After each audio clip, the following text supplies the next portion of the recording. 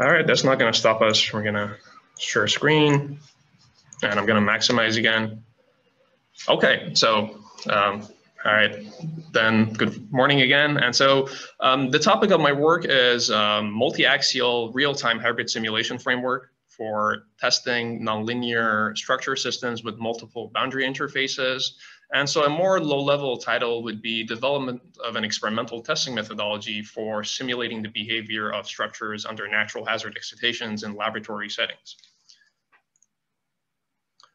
Before we get started, I would like to thank the audience, including my uh, PhD advisor, Dr. Bill Spencer, for the opportunities that have been given over the past four years, including his guidance and mentorship. I would like to thank the uh, distinguished committee members, Dr. Bergman, Dr. Dyke, Dr. Kwon, and Dr. Fahnestock for their availability and valuable feedback, and all the audience members for taking this time. Uh, the schedule for today will be as follows. I will uh, present my PhD content. There will be an audience Q&A session, and then there will be a committee Q&A session. So here's the layout uh, for the, uh, for the uh, presentation today. Uh, I will uh, talk about uh, some of the motivation for my PhD work. I will then present some of the methodologies and tools that I used. I will then present some experimental results and leave with some concluding remarks. All right, so what are my motivations and really what got me to do uh, the research that I did. Um, when it comes to natural hazards, every state is exposed to one or more of a host of hazards. As it pertains to our infrastructure, uh, we are typically interested in hazards like earthquakes, tornadoes, and hurricanes. So what I have here on the right is the map of the US population centers, which roughly corresponds to where a lot of the US infrastructure is. So what I'll do now is I will overlap this map with a, map of earthquake uh, hazards here in the US. So what you can see is that a considerable size of the country and the population is actually within this uh, earthquake hazard. Now, what I'll do is I'll replace this with a, a, map of the tornado hazard. And again, you can see even a bigger area. So uh, when it comes to natural hazards, it's really important for us to include them in our design manuals and to uh, have them in mind going forward.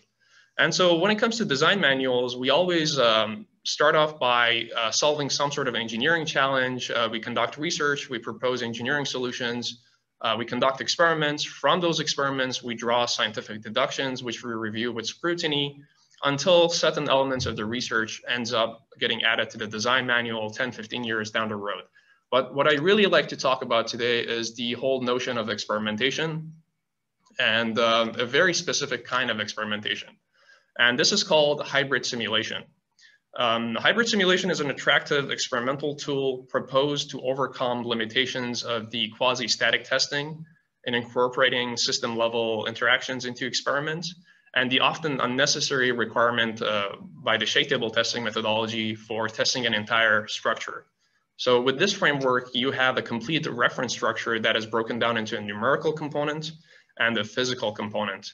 And at every time step, the boundary condition, which we call the target boundary condition, uh, between the physical and numerical components are calculated and imposed by actuators on a physical specimen. And the forces that we get from the physical specimen are picked up by sensors and fed back to the numerical substructure to close the loop. And so if we do this correctly, and if we capture the dynamics of the specimen and the numerical model, it's as if we tested the entire structure as a whole.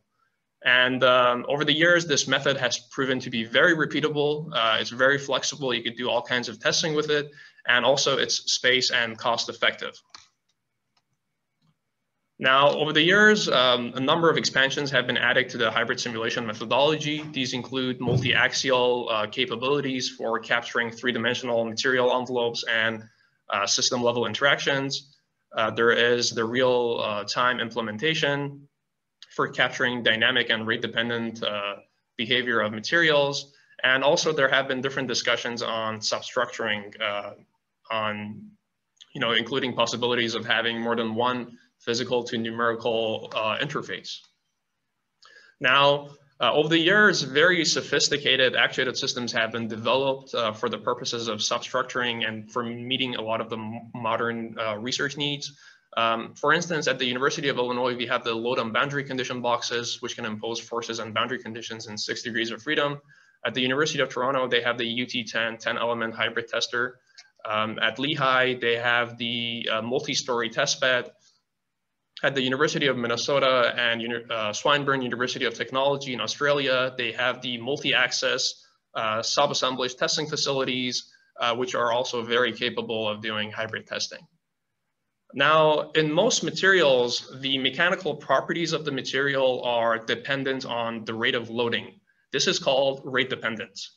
Uh, it certainly exists in many modern materials like glass fibers, uh, carbon fibers, uh, metal foams, and it also exists in um, isolating and dissipative devices. So if you're thinking about dampers, they are very much rate dependent.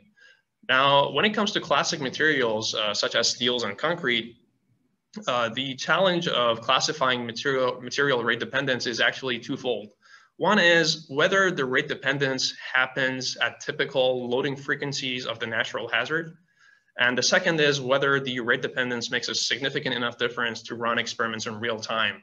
Uh, because of course, running experiments in real time is considerably harder and there are issues with uh, instabilities and so forth. And again, another consideration is the consideration of multi-axial testing, Often we're interested in the three-dimensional material strength envelope, um, which can be very different from the two-dimensional one.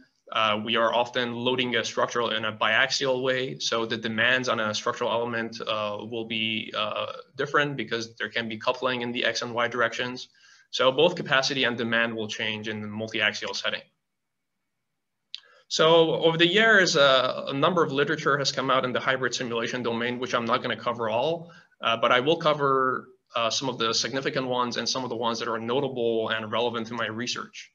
Um, in the uh, 70s and 80s, uh, the first uh, formulations of hybrid simulation came out, and really those were called uh, pseudo-dynamic testing at the time, and they were very primitive just due to the computational capabilities available at the time. Um, in the 90s, uh, computers were finally affordable enough and and strong enough that we could do real-time hybrid testing and Nakashima was the very first instance of real-time hybrid simulation, which also happens to be the focus of my work as well. Uh, Dimig et al. in 99 introduced effective force testing where the inertial component of a numerical model was calculated and imposed via force control on a physical specimen. And then came developments on multi-actuator RTHS and multi-actuator plus multi-physical interface uh, hybrid simulation. And some of these were done in, at slow speed uh, at the very beginning. Uh, in our own research group with Dr. Spencer, we've had uh, a number of developments, uh, mostly in model-based real-time hybrid simulation, where a model of the physical interface uh, or physical substructure is actually incorporated into the numerical setting. And so uh, there was a development in 2007 by Carrion et al. in a one actuator uh, setting. There was a three actuator setting by Phillips et al. in 2013. And also my former colleague, Dr. Fermandois, uh, developed the first uh, sort of generalized multi-axial RTHS framework in 2017, but that one had instability issues, which I will get to very soon. So looking at the big picture, a general approach for RTHS to accommodate realistic boundary conditions, several physical interfaces and specimens is not available. And I'm gonna take this statement and break it down into uh, gaps in knowledge, which, which I will then try to solve. So these are the gaps in knowledge that I've broken down. And I spent uh, the past four years of my PhD trying to solve uh, the, the, different elements. So there is the actuator compensation component. Um, so actuators have minds of their own. You want to compensate for their dynamics. And uh, ideally, you want to have an actuator compensation algorithm that has good reference tracking and it has stability and robustness features. And usually these two objectives are at odds. If you improve one of them, the other one goes bad. Um, there is the multi-axial condition. Uh, so uh, we're often interested in uh, three-dimensional testing, three-dimensional material envelopes, and devices that impose these uh, these uh, forces are um, they have kinematic coupling in them that you need to solve.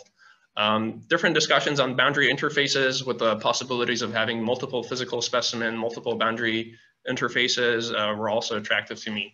And so my research objectives really became the ones that I've listed here and expanding on the developments in hybrid simulation and also addressing the gaps in knowledge. Um, I have uh, I spent my PhD working on the development of a multi-axial real-time hybrid simulation uh, framework, and I'm going to call this MARTHS. uh, with multiple boundary interfaces for three-dimensional nonlinear dynamic testing of structures, which, as you may imagine, can, have uh, numerous applications for natural hazard engineering. And again, this is broken down into subcomponents. Uh, so there is the creation of a model-based compensator. Uh, model-based compensators have been used in our group widely. So we have a lot of trust in them and I stuck with that. Developments of numerical constructs, and developments of the physical and experimental constructs necessary to make the uh, overall objective possible. And at every time step or at every uh, uh, step, I'm going to validate via experimentation.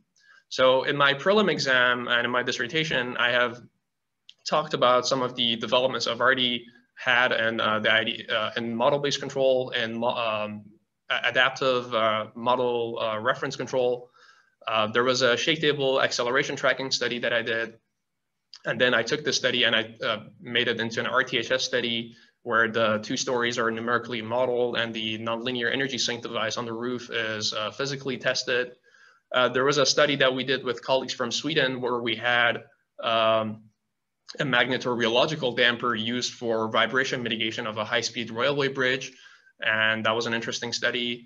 Uh, and then as part of my prelim exam, I also did a simplified uh, multi-axial RTHS test, but I'm really not gonna focus on those. My primary focus here is uh, the multi-interface, uh, multi-axial RTHS today. So this is what I'm gonna talk about. All right, so let's get to the methodologies and tools that I used as part of my PhD, but before I get there, I wanna talk about the challenges that I had to deal with. So a lot of the actuator compensation algorithms out there are actually very hard to work with. The algorithms are very sophisticated. So my goal uh, as part of my PhD became uh, creation of a control solution with good tracking, stability, and robustness, which built on traditional control techniques. Because I was not interested in algorithmic sophistication, and but I still wanted to make use of modern control breakthroughs. So why do we use actuator compensation? It's because actuators are in fact uh, hydraulic devices that are robots. And robots will never listen to you. When you uh, give them a command, there will be time delays between the measured and um, the target command or the reference command. And also you may have amplitude discrepancies. And when it comes to a closed loop system, delays actually result in uh, negative damping, uh, which can be, uh, which can affect the stability of the system. The next challenge that I had to solve is the challenge of uh, multi-actuator dynamic coupling. Uh, so whenever you have an actuator uh, that, or whenever you have a set of actuators that are connected by a rigid link, uh, because each of the actuators has a mind of its own, when one of them is pushing or pulling, all the other ones will be pushing and pulling as well. So this makes the task of compensation much more challenging. And so here I'm showing uh, the action of one of them and how all the other ones will move as well. And lastly, it's the challenge of having multiple boundary interfaces. Uh, so uh, ensuring that the boundaries in a substructured system, so again, this is your reference structure, and this is your substructured system, and ensuring the boundaries of this uh, substructured uh, system uh, correspond to the domain and the boundary of the original system, that's a sophisticated task, and it hasn't really been explored for real-time hybrid simulation, and that's something I focused on. And so some of the numerical and theoretical constructs that I used uh, as part of my research were uh, the model-based compensator. Uh, this was something that was done in our group, so I had great trust in it and I stuck with it. Because we use model-based compensation, I had to system identify my physical uh, substructure I needed to take advantage of uh, robotic concepts like kinematic transformations because, um, of course, when you're dealing with uh, actuator devices that are like parallel manipulators, you need to uh, command in Cartesian coordinates and also be able to uh, adjust the actuator strokes so that the Cartesian realization is possible. Um, there is finite element analysis modeling. I had to do three-dimensional FEM analysis for some of the later studies that I did in the numerical uh, substructure. Now, of course, when you're doing multi-axial testing, you want to have a multi-axial test bed. So on the experimental construct, I was uh, interested in using the load and boundary condition boxes that we have here at U of I. Um, most notably, the smaller ones that we have in the knee studio here uh, that have dynamic capabilities, and we have multiple of them. I needed a physical specimen, and I decided to stick with steel. Steel is very, uh, first of all, it's very affordable. It's uh, very repeatable. And unlike concrete, you don't get as much variability in your performance. And there are sensors that are uh, attached to this framework, including external potentiometers, and uh, there are also uh, load cells that we use for force measurement. Um, controllers are used uh, for computational and, algor and, algorithmic work that is necessary for this whole uh, uh, algorithm and for this whole uh, setup. And um, there are also input-output peripherals that are necessary. So here I am presenting the experimental setup that I had. Um, and pretty much it uh, comprised of a host PC, which ran the MATLAB Simulink software suite. And uh, this is where the numerical modeling and the compensation algorithms and everything are embedded. Once the code is compiled, it's uh, sent as source code, uh, which is C++ into a controller. Um, as the controller, we had a Speedgoat target machine and the target machine had all the input output peripherals and all the computational capabilities that we were interested in. And so via analog input output channels, uh, my controller communicated with my servo controller, which is a Shore Western SC6000, and my servo controller managed how the actuators behaved. And so via a command boundary condition, uh, the servo controller is responsible for deforming my physical specimen here. And so once the physical specimen deforms, of course, you're gonna have your load cells pick up on the forces. So we have load cell measurements go back. And also we have external potentiometers for purposes of uh, um, feedback and also uh, verification measurement. And so we have external potentiometers connected to the controller as well. And the physical specimen is located here in the middle. And I guess the last thing is that um, the LBCBs are powered by hydraulic oil and the, the pump supply we had was at 10 gallons per minute at 3000 PSI nominal. Okay, so here I am introducing the multi-axial real-time hybrid simulation framework that I've proposed. Um, this is for the purposes of nonlinear dynamic testing of structures under natural hazards. And uh, this provides a realistic way of testing uh, structural systems because for one, you get your reference structure and it's broken down into numerical and physical components. And you're only testing the components you're interested in. And secondly, you have the capability of testing more than one physical substructure, which can add realism to your experiments. And so um, at the interface with your numerical substructure, you have all the signals which are measured uh, and sent out in Cartesian, uh, Cartesian coordinates. And at the location of the physical specimen, you are working, working with actuators. So you are working with actuator signals. And in between the two, you have transformation layers which uh, really condition your signals and are able to make the physical and numerical constructs communicate with each other. So I'm going to talk about numerical uh, substructure first. The input into my numerical substructure is any kind of excitation force. It could be an earthquake, it could be a tornado, it could be a train load, and also the feedback force that comes from the load cells uh, from the experimental uh, substructure. Uh, the uh, numerical model is constructed via the governing uh, set of equations or just finite element modeling, which is converted to state space model. And uh, I use the MATLAB Simulink software suite. This is where the model is developed and compiled into source code on the controller. And the controller is, is what's doing the computational analysis of the model and it's what's giving you the output. And the output of this entire process is a Cartesian target boundary condition. And um, the numerical substructure used an eighth order Runge-Kutta algorithm. And again, every time I say Cartesian, what I mean is X, Y, and Z coordinates. So we already talked about numerical substructure. What I'll do is I'll get to each of these uh, elements one by one. Uh, the next is the physical substructure. And by the way, this whole thing is taking place at in, in real time. So if your simulation is running at a thousand hertz, an entire loop is actually happening at one thousandth of a second. So your forces are being imp uh, imposed in real time at real uh, natural hazard excitation speeds, and your computation is done very rapidly too. So uh, the physical substructure is realized when an actuator control signal is directed uh, through a servo controller. An analog to digital converter uh, conditions the signal uh, for execution by the physical specimen. Um, my servo controller is shown here as a Shore Western, and the physical uh, system is the load and boundary condition box plus the physical specimen. Uh, there are load cells here and sensors that pick up on any kind of necessary information we need. And there is an analog to digital converter, which then gives us experimental data, anything we're interested in, and also the actuator forces which are needed. And again, all of this is done in real time. Forces are imposed in real time because this is a real time testing algorithm. Now, before we move any further, we should really talk about uh, the concept of kinematic transformation. And um, if we're working with a load on boundary condition box like I've shown here, these boxes have a fixed base. And on this fixed base, I like to assign a Cartesian reference frame. Uh, there is also a moving platform where I uh, assign a Cartesian reference frame at the location with the physical specimen. And there's also the strong floor, uh, which has a reference frame of its own because we use external potentiometers and we want to find out uh, how they extend and contract.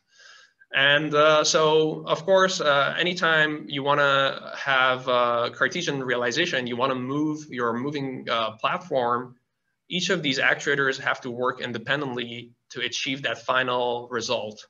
And so the process of going from Cartesian coordinates, so Cartesian coordinates, to linear coordinates, which could be your actuator or external potentiometers, this we call inverse kinematics. And the process of going from actuator strokes back to Cartesian coordinates, that's called forward kinematics. So uh, let's talk about the some of the algorithms that are necessary. Um, in parallel manipulators like LBCBs, um, when you want to go from Cartesian to actuator uh, strokes, this task is actually very easy to do so because you know where your uh, fixed uh, frame of reference is, you know where your moving frame of reference is, and you can draw three-dimensional vectors to the locations of the joints through the actuators back to the location of the other reference frame. And this arithmetic can be done quite easily, and the mathematics for that is shown here. Now, if you are given the strokes of the actuators and you want to find out what the Cartesian uh, motion is, that's a hard task for a Cartesian, uh, or excuse me, for a parallel manipulator. Um, because you end up uh, inversing this problem, which gives you an implicit uh, uh, set of nonlinear equations of uh, kinematics. usually iterative solutions are necessary for solving them and they're just really hard to do so and they may not guarantee any good results. So what we typically do is we linearize the nonlinear set of equations uh, around the equilibrium position uh, via Taylor expansion. And uh, we end up with these uh, two relationships. One is for the potentiometers, one is for the actuators, and we get these Jacobians. And you can kind of think of these Jacobians as being the tangent uh, whenever you take a derivative of a function.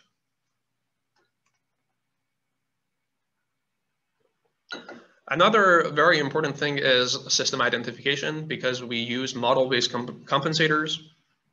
And uh, so uh, the term system here uh, refers to actuator structure dynamics. Um, and system identification is the process of minimizing the error uh, between your system response and your system model response. And so there is an identification algorithm here. And so uh, what we did is uh, we always start with a process of data collection from our experiments. Uh, we need to select the structure of the model. So if you're working with uh, transfer functions, you're going to have uh, poles and zeros. You want to know how many poles and zeros you have. there is the process of model estimation. There's the process of model validation. If you don't get acceptable results, you ideally want to go back and repeat this whole thing again and verify that you get the good results once you have good results, then we can move to controller design. And because we work in frequency domain, uh, ideally, I want to convert all my signals to frequency domain via Fourier transform. Um, I want to take advantage of the frequency response function idea, which shows you how a system behaves in frequency domain. However, we can't do this directly. We need to do uh, estimations of the FRF. And there's an H1 algorithm uh, there's also an H2 algorithm. Um, H1 is an FRF estimation uh, where the output is expected to be noisier than the uh, input. And H2 is an approach where the input is expected to be noisier than the output. And there's also a coherence function which we need for the uh, purposes of system identification.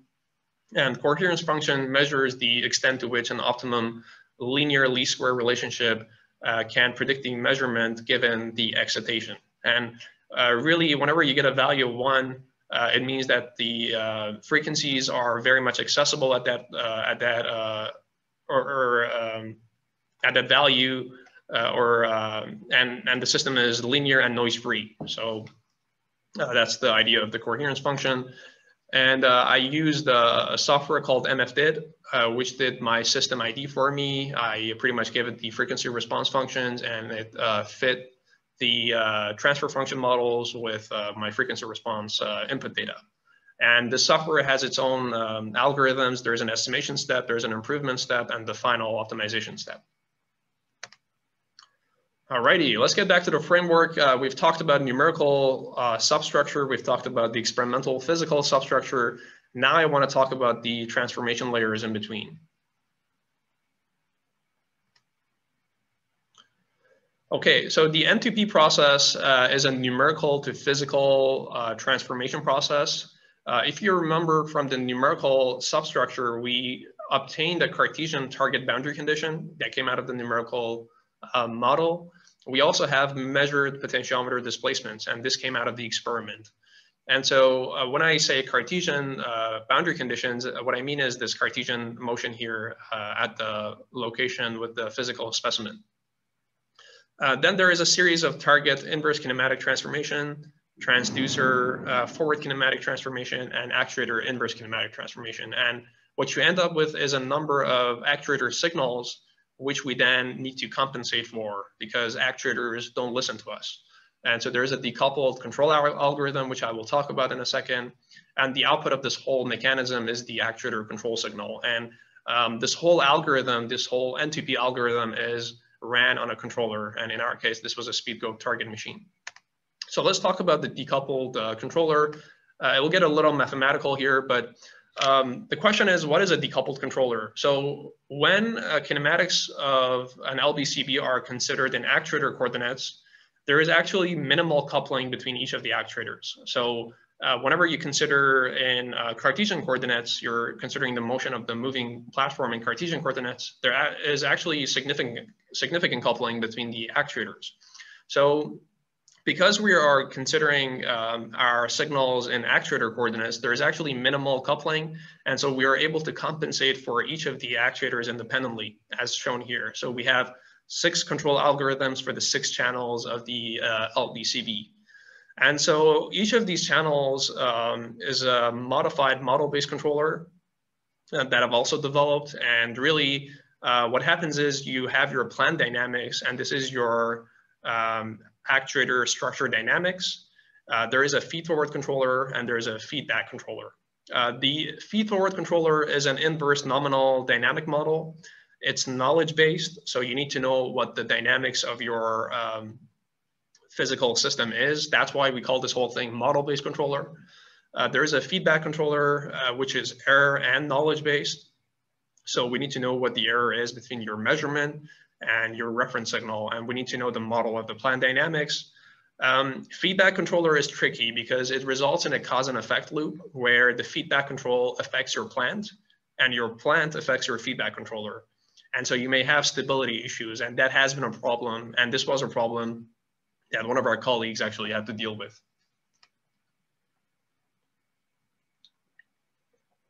And so um, we are given the plant dynamics, uh, which is my uh, structure um, actuator dynamics. And what I can do is I can invert this and I can cascade it with a low pass filter. And low pass filter is just for the uh, having a causal realization. So you have enough poles. Um, also for, um, for reduction of high uh, frequency amplification. And um, this is what the forward, feed-forward controller is. This is an inverse uh, model feed-forward controller. Um, there is a feedback controller, which is a simple LQG design. Uh, based on this relationship here, um, when the plant and the feed-forward control are cascaded, you get a low-pass filter. So the LQG is based on the cascaded action, which is a low-pass filter, and uh, this low-pass filter is shown here in a state space formulation with input noise and output noise. And these noises are assumed to be stationary and zero mean processes. And that's what really the whole notion of LQG is, linear quadratic Gaussian. And uh, um, for obtaining the feedback control, all we have to do is to minimize this quadratic cost function, and that gives us our uh, feedback controller um, in an LQG optimal sense. this here is a quick, uh, quick uh, proof of the stability guarantee for my modified controller. So uh, let's say I have a linear uh, operator Q and a stabilizing feedback controller K, where the amplitude of K is less than or equal to one. Then uh, I plus QK inverse is non-singular and realizable if Q is less than one. Uh, so if you go back to the high school years, you know, we talked about um, negative uh, uh, feedback loop or positive feedback loop. this is the negative feedback loop in a mathematical description. So this is a sufficient only condition. So when this is satisfied, you have uh, stability guarantees. However, when this is not satisfied, it doesn't mean you have instability because physical systems have um, frictions and, and little things that we um, cannot explicitly see, and those can prevent instability. Um, for um, so for some stabilizing feedback controller uh, K, and I'm using the infinity gain here, uh, less than and equal to one, the modified model-based controller, and this is the denominator of the closed loop uh, system. So this is uh, non-singular when uh, the gain of uh, the low pass filter multiplied by the gain of the uh, feedback controller is less than one. And gain of a low pass filter is always one. And so this architecture guarantees stability when the feedback gain is less than or equal to one. So this is a way of uh, designing your feedback system and guaranteeing that it doesn't um, jeopardize the stability of your uh, control loop. okay, so uh, the last step in this whole thing is the physical to numerical uh, construct uh, or transformation. And this is really easy. You uh, measure your actuator forces via the load cells that are in line with your actuators. And you ideally want to convert this into Cartesian coordinates. And uh, this process involves multiplying actuator forces with the Jacobian we got earlier. And this Jacobian is, again, from the linearization process. So um, this uh, force transform process is an approximation of the actual force transformation. If you want to do the actual force transform, that's a nonlinear process. And this whole numerical to physical uh, transformation is done on a controller. Okay, so we talked about methodology. Let's present experimental results. Um, I want to talk about uh, some of the work that my colleague, Dr. Firmin Dois did. Um, in his multi-axial development, by the time your signals arrived at your controller, these signals were already converted to Cartesian coordinates. And because your signals are in Cartesian coordinates, your controller is also a Cartesian controller. And for a parallel, parallel manipulator, uh, you have considerable coupling that exists between the actuators when you are thinking in Cartesian coordinates. So um, in fact, uh, the controller he had to design was a coupled uh, multi-input, multi-output type controller, which is really difficult to design and optimize for a physical system. People do numerical studies all the time and it works, but whenever you work, work with control of a physical system, this is extremely difficult to do. And um, because of this difficulty, he was not able to uh, uh, successfully uh, show the, uh, successfully have stable results and he had to truncate his uh, rotational degree of freedom. Uh, so let's see. Okay, there we go. So uh, yeah, he had to truncate the rotational degree of freedom, which where he was having instability issues, and uh, he was only working with one degree of freedom. Okay, so what I want to do now is to really distinguish my work from the work that he did. And this involves uh, talking about the compensation algorithms that we had. Um, he used the model-based controller and I used the modified model-based controller and um, I talked about this a little bit now, but in my prelim, I talked about this considerably more. But uh, the modified model-based controller uh, I showed had better uh, uh tracking performance um, and stability and robustness. The um, controller uh, algorithm that he used uh, was done in Cartesian coordinates. Mine were done in actuator coordinates. And of course, actuator coupling is greater in Cartesian coordinates. Uh, another thing is the whole notion of uh, controller coupling. Because his uh, control was done in Cartesian coordinates, uh, and he and he had to use multi-input, multi-output type controllers. Um, that task of designing and optimizing was considerably harder. In my case, I used the single input, single output type controller. Um, this was considerably easier to design and to operate and to tune and so forth. Um, and so what I can say is that MIMO controllers are harder to design and optimize. and because of the instability problems he had, uh, he was only able to run experiments in one degree of freedom. And in my early work, uh, I showed that I was able to move my physical specimen in a planar manner, so in a two degree of freedom uh, manner with the vertical ignored. Um, and so it's one versus two DOF. Um, since my prelim exam, I've increased this to six degrees of freedom, as I will talk about. Uh, before we go there, I want to quickly go back to my uh, um, uh, progress before my prelim exam. And what I had done was I had uh, the this moment frame structure where I physically substructured one of the columns and it was uh, tested in a physical uh, way using an LBCB. So a ground motion acceleration was introduced into this uh, moment frame structure. And in the next slide, I'm gonna show you some of the results. Uh, so here we have um, uh, the behaviors of degree of freedom one and two uh, shown in the elastic range. So I minimized the amplitude of my acceleration and I compared my MA RTHS results uh, with uh, results of a numerical model. And there is very good agreement in degree of freedom one and two and uh, Cartesian coordinates are shown here as well. And then um, I increased the amplitude, amplitude of my ground motion and I showed that you can have nonlinear hysteretic behavior in both degrees of freedom.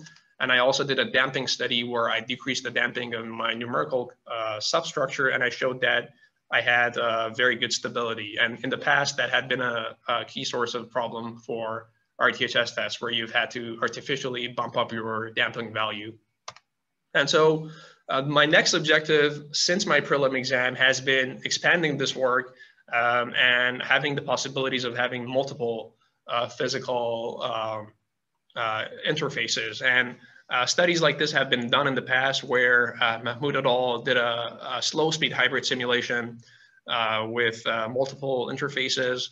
Uh, Abdelnaby in 2014 did a study as well. But again, these were done at slow speed hybrid simulation I want to do this using the small scale dynamic LBCBs in real, uh, at real speeds. So um, I used my multi-axial uh, RTHS framework uh, and um, we did the introduction before, but here I'm gonna take this framework and I'm gonna validate it through uh, experimental testing.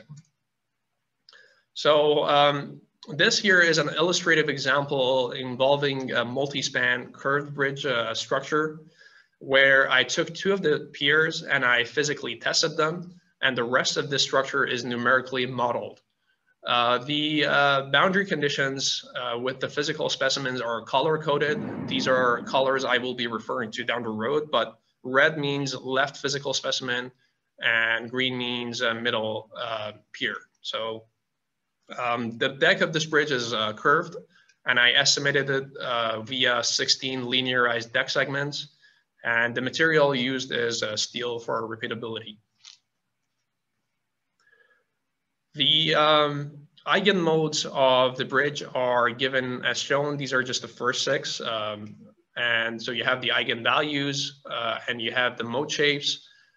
And I verified, um, of course, I did my modeling in a Simulink model. Uh, so I had to verify my model with a SAP 2000 model. And uh, for the first 20 eigenmodes, I get a very good match between the two models. Um, for everything above that, um, the models uh, are not so good. And the reason is SAP 2000 uh, discretizes your model to smaller increments. And so it can give you different results.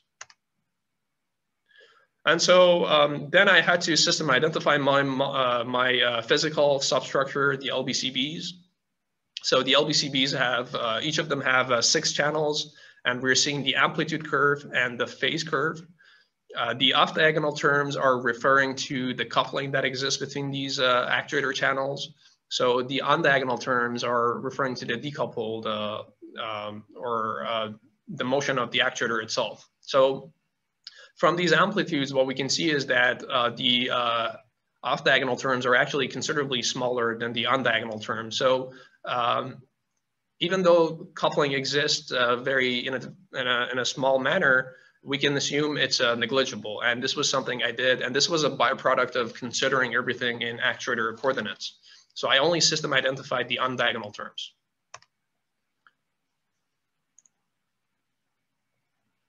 So uh, this here is the result of my system ID. Um, I am uh, working with two LBCBs. Each of them have six actuators. And again, we're assuming actuator coupling is negligible and that uh, actuators are behaving linearly. That's why I'm using a transfer function model. So uh, then I did uh, two experimental scenarios. And the two uh, scenarios that I considered are uh, the elastic case and the nonlinear case. Um, so for the elastic case, I have a biaxial ground motion uh, entering my uh, numerical substructure. And so the amplitude is uh, considerably smaller than for the nonlinear case.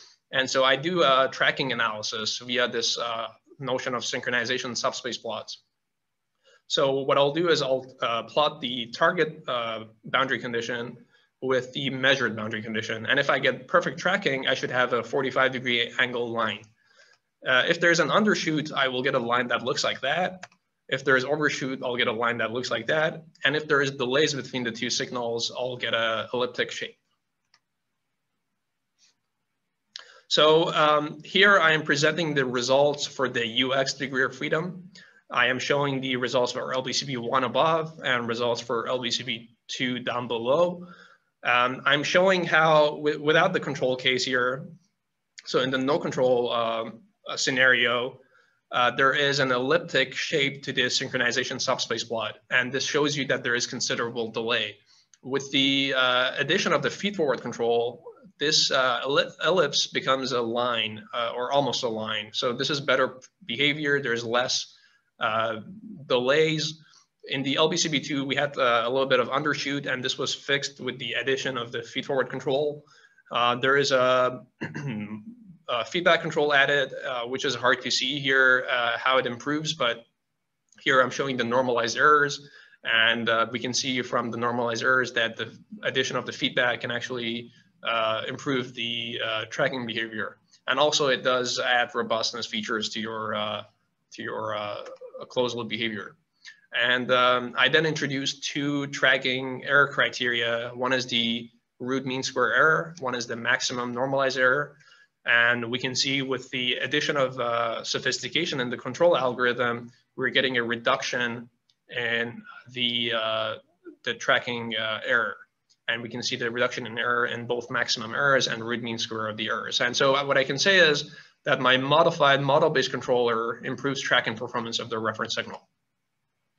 And here uh, I am again just showing the UX uh, degree of freedom, and I'm doing the elastic uh, study where I compare my numerical results with the results of my MARTHS test. So um, I have uh, my uh, displacement, this is my boundary condition, and I have my forces. And I am showing you how uh, the uh, experimental test is actually matching uh, numerical tests for both LBCBs.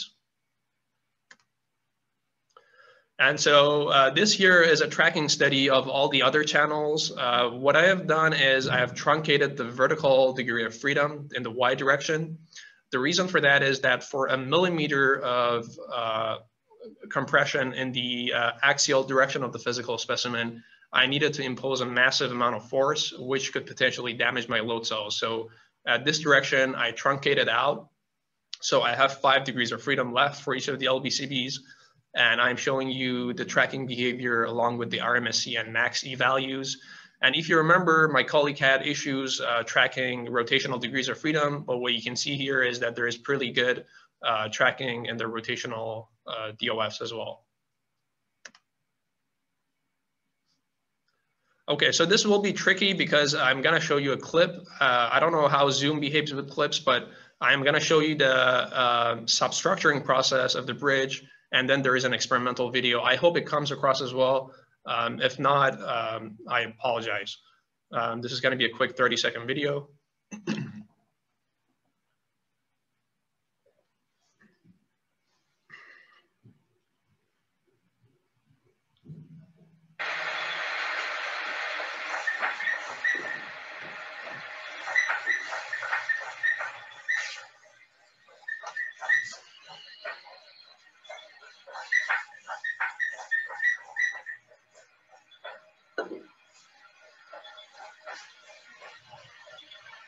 so I'm not going to show any more because um, the vibration becomes pretty small at the very end.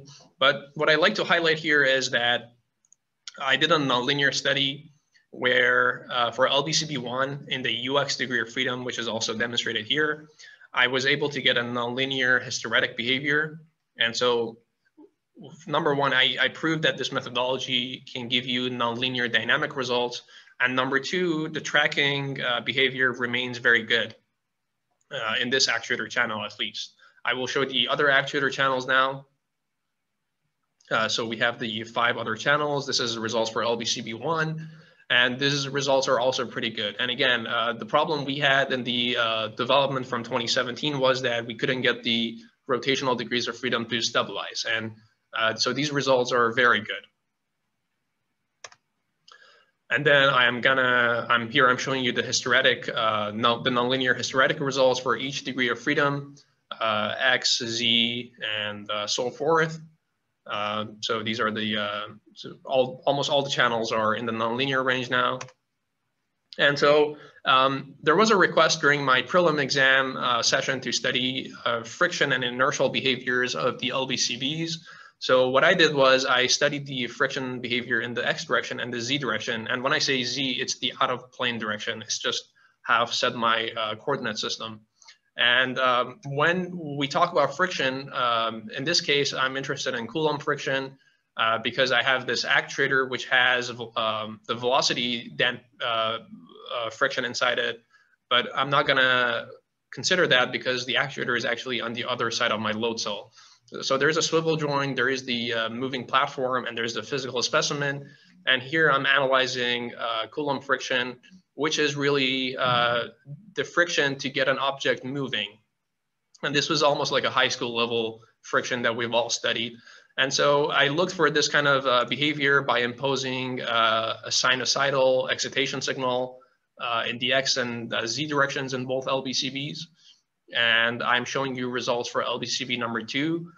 Um, and as it turns out, uh, for uh, both LBCBs and both directions, uh, this force is actually quite small. Um, so I've listed them here in the X direction. Um, the biggest force we're dealing with is roughly 60 newtons, and that's that's pretty small given that we work with uh, forces that are in the kilonewton and multiple kilonewton range.